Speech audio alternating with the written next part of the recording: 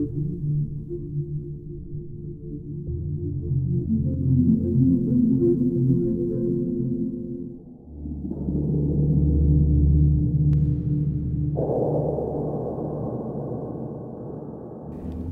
protistes sont des êtres unicellulaires.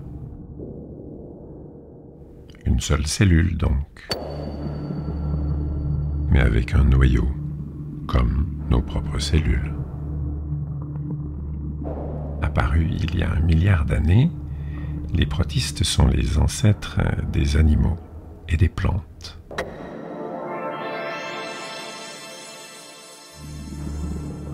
Ces myriades d'étoiles aux couleurs et aux formes irréelles, ce sont les protistes.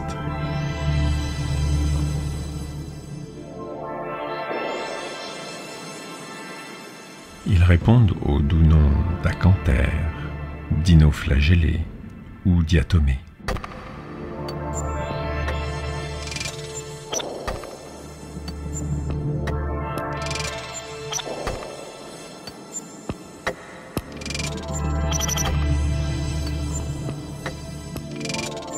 Il y en a des millions d'espèces, visibles à l'œil nu pour certaines, et pour la plupart à travers un microscope.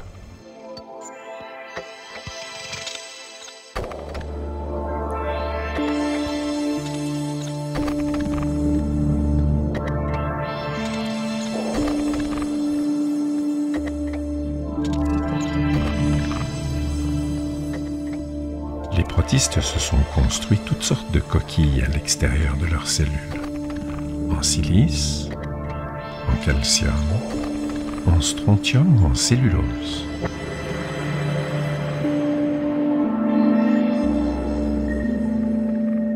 Coincés entre les gros organismes et les bactéries, les protistes sont les grands oubliés du vivant. On soupçonne à peine la richesse de leur forme et de leurs facultés.